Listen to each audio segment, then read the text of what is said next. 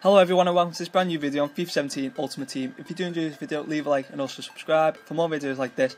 Let me know by leaving a comment down below what videos you'd like to see in the future.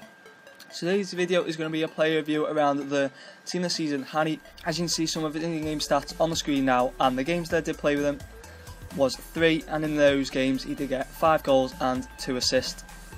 So the first thing I did like about him was his dribbling. His dribbling was very very good.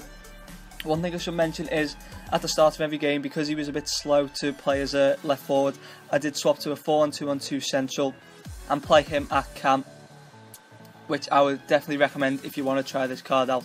One play him on the wing, even though he is a left mid, as he is quite slow. But his dribbling was very, very good. L2R2 and his agility was very, very good as well. Easily got past players, just the pace let him down a little bit. Also, his finishing was very, very good. As you can see, he got five goals in three games from Cam, and that was a very, very good ratio for him. Really good shooting and finishing. His shot power was very, very good as well. I tried to take a couple of long shots with him. Unfortunately, he didn't go in because his long shots aren't very good, but they were quite powerful. And as you can see, his traits were clinical finisher, so that shows how good of a finisher he is.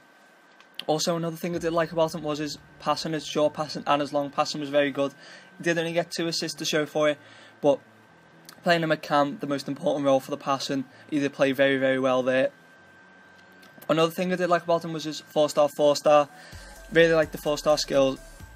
As I do say in most of my player reviews, I do like four star skills. I really do need that when I'm playing FIFA, and also the four star weak foot with that shooting and with his good passing, four star weak foot was very, very good. Could use his left and his right. So as you can see on the screen are his pros and cons.